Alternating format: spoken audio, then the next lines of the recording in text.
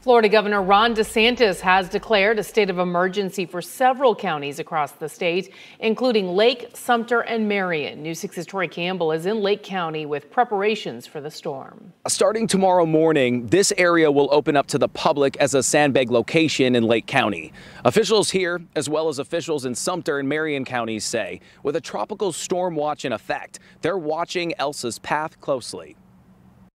And I think our primary threat right now is going to be the rainfall and flash flooding.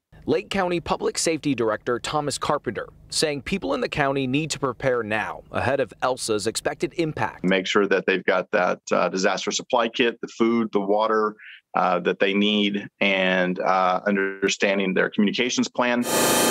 On Monday, Scott Kaufman was stocking up on supplies at a Lake County Ace Hardware. We got a ton of batteries, we got a lot of flashlights, and I checked to make sure they're working. Tropical storm Elsa making its way through Cuba on Monday, already claiming several lives in its path. As of now, Lake, Marion, and Sumter counties say no shelters are scheduled to open, but are on standby if Elsa's track changes.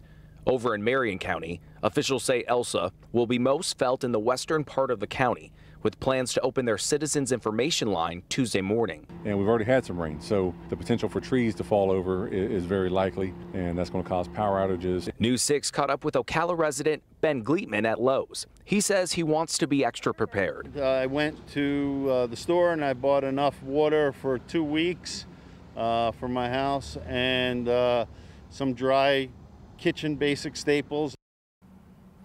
And tomorrow morning, officials in Sumter County say the commission will meet to vote on an emergency declaration.